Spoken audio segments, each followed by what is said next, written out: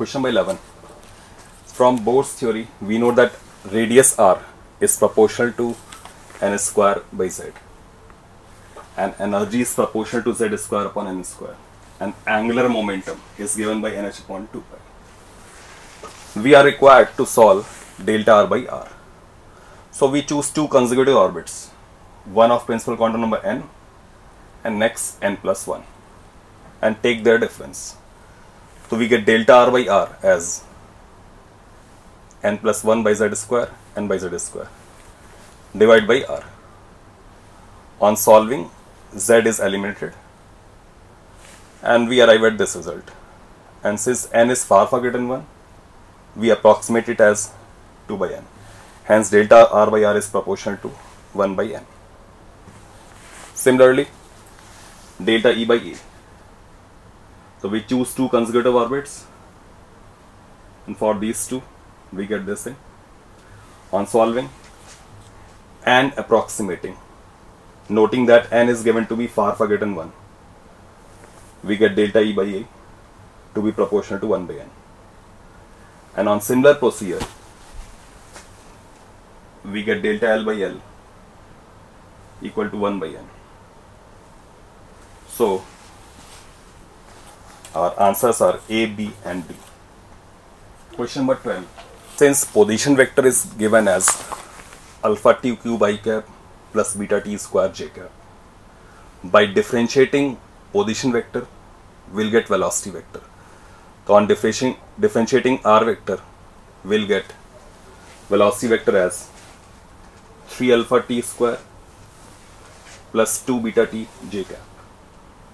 Once again, when we differentiate velocity vector, we get acceleration vector. So on differentiating velocity vector, we get 6 alpha t i cap plus 2 beta j cap. At t equal to 1 second, by substituting value of alpha and t equal to 1 second in the velocity function, we get velocity vector as 10 i cap plus 10 j cap. Since angular momentum is defined as r cross p, we have been given r vector, mass and velocity vector at t equal to 1 second. On taking, on taking cross product, we get angular momentum. Force vector is mass into acceleration and we have already derived the expression for acceleration. So mass into acceleration is force vector. Finally, torque vector is r cross f. We know position vector as well as force vector. Taking cross product of r vector and force vector, we get torque vector. So on matching the options, we get answers as A, B and D. Question number 13. This question is based on Doppler effect. We are given that there are two loudspeakers M and N which are emitting frequencies F1 and F2 respectively and a car is approaching. Suppose at an instant is at point P and position of car makes angle theta.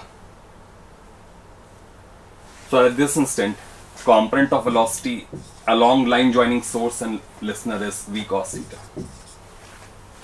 From the formulas of Doppler effect, frequency received from m is c plus v cos theta upon c f1.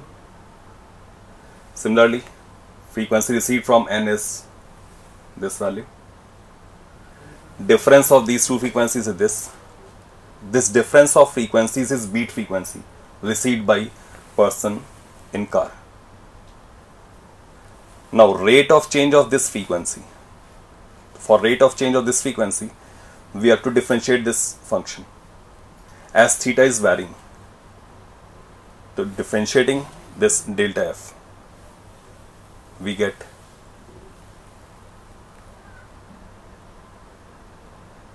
so the variation of the rate of change of beat frequency is according to this function. So nature of curve is approximately this. And this variation is maximum when theta is 90 degree.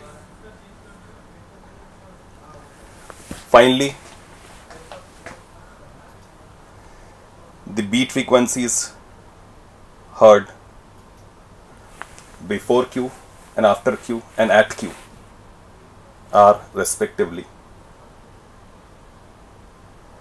So we can see on adding nu P and nu R we get 2 nu Q.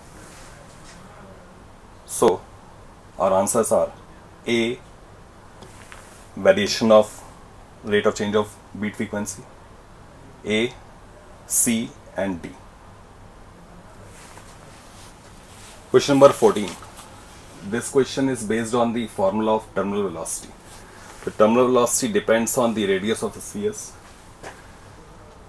difference in density of sphere and liquid, and coefficient of viscosity. On comparing, comparing the terminal losses for P and Q, taking ratio and substituting the numerical values, we get our answer as 3.